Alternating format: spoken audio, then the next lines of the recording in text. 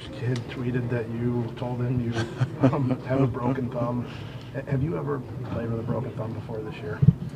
Uh, no, broken index finger, pinkies. Uh, but no, Is, was surgery ever considered? no, I don't think so. Just it's not like Dak or those guys. It's not as severe. I, I don't know what they had, but it probably wasn't. No. I know you never use it as an excuse. You've mentioned it basically every week, but at the same time, I would guess throwing a football with a broken thumb is probably not the easiest thing in the world. Just how big of a challenge has that been? Well, I think I've had worse injuries I've played with. Uh, so you know, definitely a challenge. But the days off uh, helped. Feeling better this week. Any worse though that directly affects how the ball comes out though? See, Any and those other injuries were they? They didn't affect how much the ball came out. Uh, well, I mean, uh, you know, when I hurt my knee in 18, I was, you know, you throw from the ground up, so that was definitely uh, difficult on the footwork and uh, plant leg. But uh, yeah, I mean, when I broke my index finger in college, that was uh, probably a slightly, slightly more important finger uh, to deal with. But uh, remember, as I was at practice, and Coach Tedford said, "I don't, I don't care what's hurting." Uh, you got one day off, and if you miss another day of practice, you're the backup again. So there was no choice. When, when hit, when 53 hit you from behind the Giants game, uh, did you know if it hit a helmet or the ground, or, I mean, I know it was a big hit. Yeah, I don't, I, I don't know for sure. Um, just know on the flight home I was in some pain, and uh, actually didn't even, you know, want to get X-rayed because I was, you know, still going to play. It didn't matter what the X-ray showed, but uh, they talked me into it. So Is this something that might need to get fixed after this? I don't think so. No. So just to clarify, were you, to your knowledge, was it ever broken this season? Is that a, is that that's a real question? After everything that was just said. Well, well, he asked if it was, you mentioned past ones. I just wanted to make sure I was understanding correctly. Yeah, I think you understand it correctly. So you, you mentioned rehab a bunch of times. How do you rehab something that's broken? It's a good question. They got a lot of different machines in there, though, Bill. You'd be surprised. Um, so that's just any of the modalities in there, and it's a lot of grip stuff. So, but I, you know, like I said, the five days off was nice, and uh, had a full practice today with under center snaps, so I felt good. Aaron, I understand you're enjoying this topic immensely. um, but Well, I don't mind. It's just, I mean, I felt like we were past that first part. Yeah, but you never actually told us it was broken, right? Like publicly. So I, I, what Didn't make a difference. It doesn't. Doesn't make a difference me playing, you know. That doesn't make a difference. You Right. saw the tape on my thumb, didn't make a difference. So I'm wondering though, like you said to Pat yesterday, that people get all excited. You, two throws that you make 99 times out of 100. Do you make them 100 out of 100 if you're not playing with a broken thumb? No, I don't think so. So I you're, just think there's there's one in every hundred that uh, doesn't come off the right way. So the throw to, to Allen, which obviously was a crucial throw in that game that you don't miss, and it sure looked to me like Allen was surprised that it wasn't on target, that he didn't even react necessarily, right? You're telling me that that has nothing to do with your thumb. That just was a crummy throw by you. Yeah, You saying that because you don't want to use it as an excuse, or because that's the truth? I think that's the truth. Yeah, I really do. I think it's the truth. Um, you know, my thumb was hurting a lot worse than the Dallas game, and I put the ball where I wanted it to. Uh, Well, why? How is that possible then? it's a good question. Thank you. You don't have an answer. I don't have a great answer for you. Okay. Pre-Dell, I mean, how much, how much, if at all, was it impacting you for pre-Dallas game, between the Giants game, the Dallas game, those other games? Yeah, more during the week. You know, I, di- I didn't take a lot of under center snaps during the week, the weeks leading up to it, but it's about the same every week. It didn't really get any better.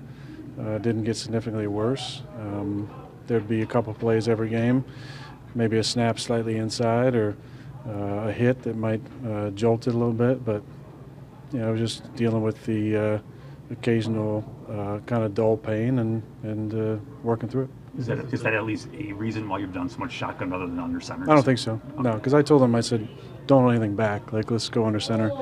Um, I'll be fine on Sundays. But this is the best it's felt since before the Giants game, too. Yes. You got a good look at Chauncey when the Saints were here during training camp. What has he been, been able to do since being with Philadelphia? We moved positions. He's playing safety now. Uh, you know, he's still doing a lot of things that he's been doing in the league. He tackles well, uh, covers well, but more vision to the football with the pass rush and vision to the football. He's had more opportunities down the field, and uh, he's got good hands. Made the most of his uh, chances down the field. What's the key for the, the offense as a whole, Aaron, to deal with this pass rush that the Eagles are going to bring Sunday? Yeah, I mean it's it, it starts up front in the run game and in the uh, protection. Uh, they got a lot of good pass rushers, guys inside and outside who can get after you. I got to deal the ball on time. We got to get open, and uh, we got to keep my balance, moving the pocket, and obviously mixing in uh, in runs in the shotgun. Where does this place rank in toughest places to play in your NFL experience? It's top 32 for sure. it's uh, it's a great great trash talking venue. Um, way back to when I was a young player, sitting on the bench and getting yelled at by a fan uh, to get the splinters out of my behind uh, the entire game. Uh, it's a real good, uh, you know, it's a great sports town. Real good uh, fans in all the sports, uh, all their different teams have great followings, and uh, you know, it's a tough place to play. We've won there, you know, multiple times, and we got to go and do it again. Aaron, you guys defensively have Hurts this week and Fields on deck. Two guys that make a lot of plays with their legs, which is obviously something you know about. Is there any way for a quarterback to beat defenders with the sliding rules, or is that does the play just happen so fast that you don't really have time to take that into consideration? I mean, I don't think I do, but some of these faster guys probably got a chance to do that. Um, I remember a play from college. Was it last season or the season before, where a guy kind of fake slid and kept it going, ran for a touchdown. Um, you know, they they, uh, they police the hits on the quarterback on slides pretty well. Uh, some guys are late sliders. I happen to be more of a, I feel like on time or early slider because I know not trying to take any of those shots when you're exposed like that. But uh, know, Hurts doesn't slide a whole lot. You know, he, he slides when he has to, but he's he's also a really strong and powerful runner with the football, and he's got great speed too. How did you learn how to slide? Was that something that Baseball. for you? Baseball. Play a lot of baseball. I wasn't allowed to head first slide until uh, until I was in uh, Babe Ruth, 13 year old baseball. So a lot of feet first slides. And also got to watch one of the worst sliders of all time, Matt Flynn. if you guys remember some of his his double double knee slides. Um, but uh, yeah, we we used to go out on the slip and slide when we were kids and learn how to slide. And so baseball. So there's definitely a right way to do it or a wrong way to do it. I mean, I think if you're a baseball player, you can usually tell who those guys are when they slide. Matt, I guess, wasn't really a baseball player. You've been fun, Aaron. Um, between the season going the way it is, playing with an injury, obviously you wouldn't be here if it wasn't fun. Are you having Are you having fun at all? I am having fun. I mean, I love I love these guys. It's tough, you know. Obviously, you'd love to be uh, sitting here with a better record, but I, I still love this game. Love the guys. Love the uh, stuff we get to do outside the facility, and we still try to find make, ways to make it fun. You know, with the pranks and jokes and and the, the normal things that uh, keep you stimulated during the day. But uh, yeah, as a competitor, you're frustrated, but uh, this is uh, this is life in the NFL. There's a lot of ups and downs, and you can't just be happy when it's going great and you're soaring high, and you know pissed off when it's going low. I mean, as a competitor, you want to win, but uh, you got to enjoy this thing. Otherwise, it's time to move on. Are you, after last Thursday night, did you think about this this weekend? You got any examples of, what you call it, independent contractors around here? And if that's going on, it's being addressed? I haven't seen any of that. A few weeks ago, you mentioned Dallin and Marcedes kind of stepping up in the room after a loss and talking during this tough skid, whether that's after a game or midweek. Have you gotten up in front of the room and talked to the guys? I always talk to the guys. You know, we, we have uh, a lot of opportunities to speak up for me in the, the meeting rooms, and and I always speak to the team before the games.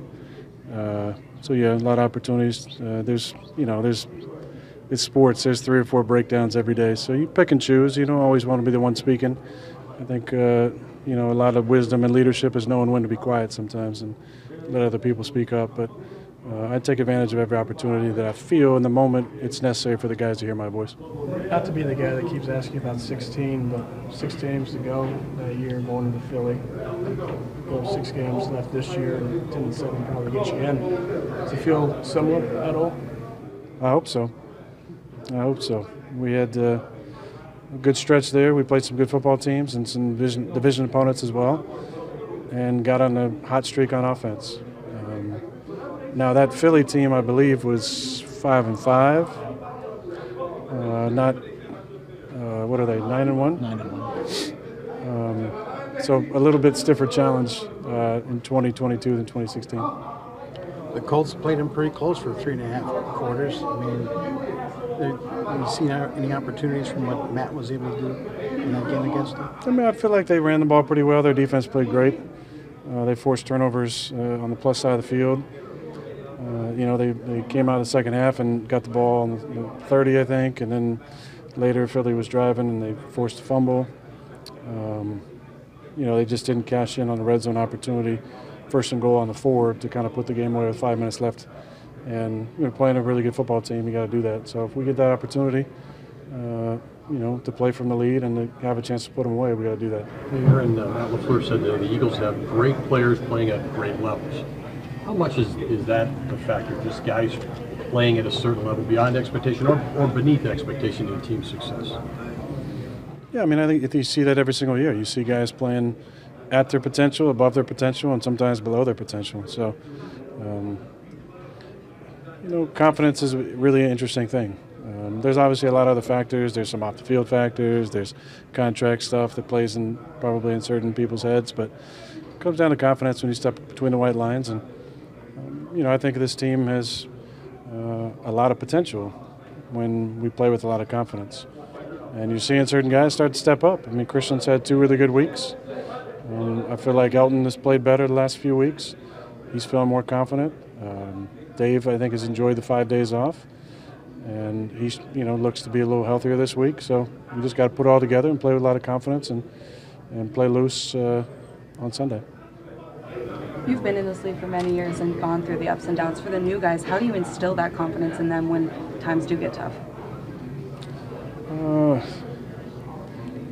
mean, I think you got to just be the same guy every day. You know, they're looking around at the NFL and they're having a lot of moments wondering if this is what the NFL is like.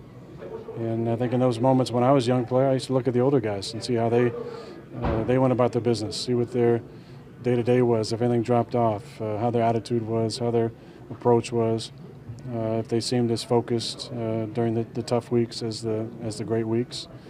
So we just got to lead by example and and show up every day and uh, hold guys accountable, hold yourself to a standard, and then go out and execute at practice and and uh, just keep being the same guy.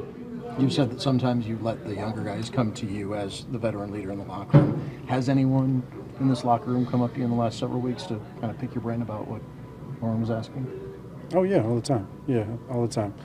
Um, but you know, some of the players in this in this day, you have to initiate more of the conversation. So I look for those guys, see if anybody's struggling or or maybe I need to pull aside and have a conversation with. And, and I think those are really important moments as a leader to to have a pulse of the locker room and see where guys are at. And and if somebody needs a, a word uh, that feels authentic in the moment, then then share that with them.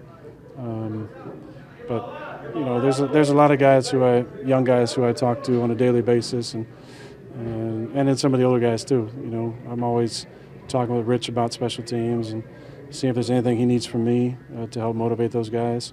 Talking with Joe and the defensive guys uh, daily.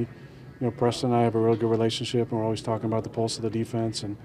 And offensively, Big Dog and I, you know, kind of always uh, making sure we uh, have a good feel for where everybody's at, confidence-wise, and approach, and focus, and discipline. And it's important having those uh, those conversations each week. Aaron, speaking of that, I'm assuming you actually believe when you said that you guys can win out Yeah. on Thursday. Yeah. Do you have a sense of whether the guys you need to believe that in this locker room actually believe it and not just you know scoff at something like that because of how you guys have played this year? I don't. I honestly don't think it matters, Matt. I really don't. I, I think when you win, uh, it creates a momentum. When I said it in 2016, uh, how many people actually believed then? Probably not many. But then we got the first one. Then we came home and got the second one. And we beat Seattle, got the third one. And I think uh, there was a lot of momentum that started in the locker room, and guys started realizing this was a possibility. And it was like a snowball effect rolling downhill. So we got to we got to pack that snowball this week and get it to the top of the hill and let it start rolling downhill. What about personally, Aaron? Uh, Has self doubt ever creeped in? And if it has after games, what do you turn to? Where's your belief? Is it just the, your great play over the course of time? Where does that come from for you? Uh, scotch. Definitely a lot of scotch. Uh, reflection is an important part of this game, and I think you always got to separate the emotion uh, from the reality. And so after every game, win or lose, there's an important reflection period that happens. And I joke about scotch, but often it, it is with a, a glass of scotch uh, as I contemplate how the game went, what I could have done better, uh, what I need to do differently in the upcoming weeks. But there's a lot of confidence built up over the years um, about uh, the way I've played. And that's what I lean on when it's hard times and even when it's good times. It's a reminder that I've done it before and, and I'm going to do it again. Is keeping that reflection positive important? Because there are people that reflect and then just kind of get down on their own thoughts. How important is the positive reflection part of that for you? Yeah, I mean, I don't, I don't know anybody who does that who has competitive greatness.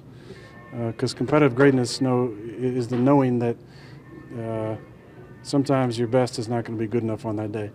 But the most important thing is how you prepared and how you focused and how you went out and played, and the effort and the energy you brought to that moment. Um, so I don't know any negative person who has competitive greatness. You said you reflect back on having done it before. This week, do you reflect back on times like 2016, or are there other Yeah, for sure, for well? sure.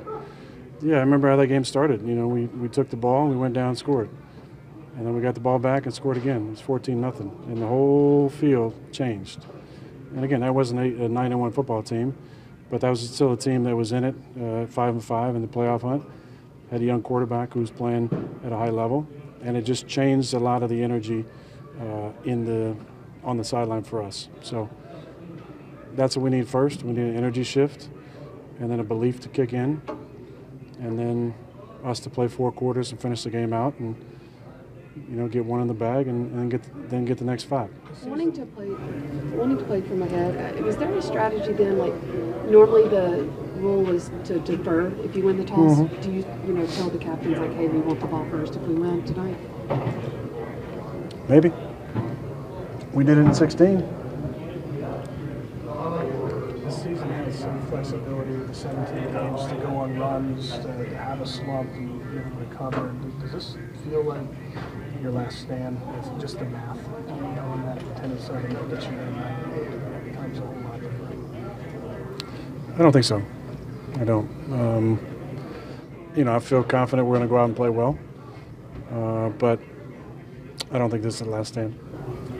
Aaron, Two more, Vern. After the game, we talked about going up tempo.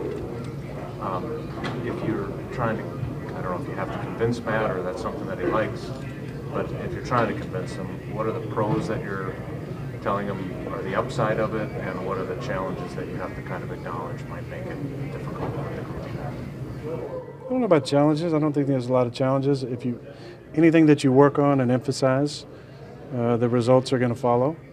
Um, you know, I think you look at the, some of the stagnation we've had on offense uh, over the season. A lot of times, what's brought us out is some of those up-tempo drives. So um, we'll see what happens this week. And it's not something that, like, when you did it with Tay and Jordy and Randall, Well, obviously that was easier, yeah, because those guys can play every position. But you get what you emphasize. And if you emphasize some of that stuff, you're going to be more prepared for it.